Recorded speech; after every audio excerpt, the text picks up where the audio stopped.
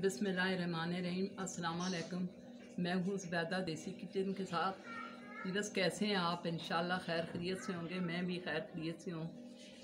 आप जहाँ भी हैं, खुश रहें। आज मैं चना चाट बनाने लगी हूँ। वो उबले हुए चने हैं, ये टमाटर है तीन अदद कटे हुए।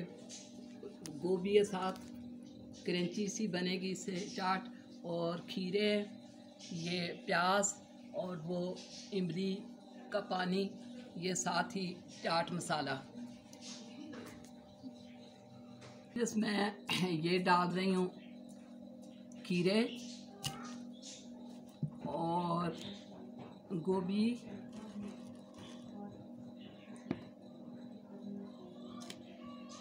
प्याज।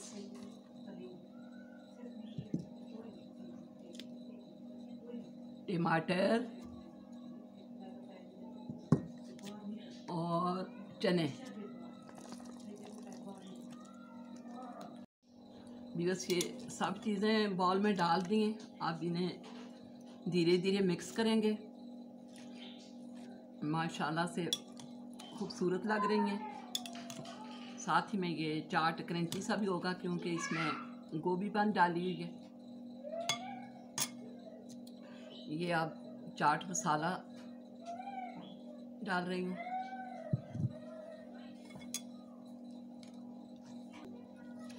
चाट मसाला जितना आपका मन चाहे इतना ही डालें, क्योंकि कुछ लोग तेज़ खाते हैं, कुछ मदम खाते हैं, लेकिन हमारे घर में मसाला और नमक थोड़ा कम ही खाया जाता है।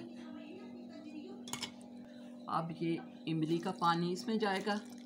ये ऐसे, फिर इसे अच्छी तरह मिक्स करेंगे। बीस क्योंकि अब तो गर्मियों की आमद आमद है, हमारे अफ्ताबाद में तो अब आमद शुरू हुई है। लेकिन कई इलाकों में गर्मी हो चुकी है तो आगे से माशाल्लाह, माह रमज़ान भी बिल्कुल आने वाला है। खैर का वसीला इन अल्लाह पाक हमें कई रमज़ान लगाने दे। अल्हम्दुलिल्लाह, माशाल्लाह। मुसलमानों की यही निशानी होती है बस चाट हर तरह का बनता है। आज तो ये चाट बना रही हूँ मैं इन दोबारा फ्रूट चाट बनाऊँगी। लेकिन यही चीज़ें बहुत हेल्दी होती हैं। बस ये देखें, बस चाट मिक्स हो चुका है। बिल्कुल तैयार है इन अब इसे मैं थोड़ी सी डेकोरेशन कर दूँगी। इन चाट पाट बहुत जल्दी दो तीन मिनट कुल इस पर लगते हैं। तो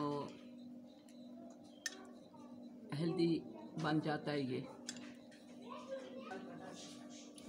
व्यूस अब बिल्कुल तैयार हो चुका है। मेरे चैनल को सब्सक्राइब करें, बेल का बटन भी दबा दें।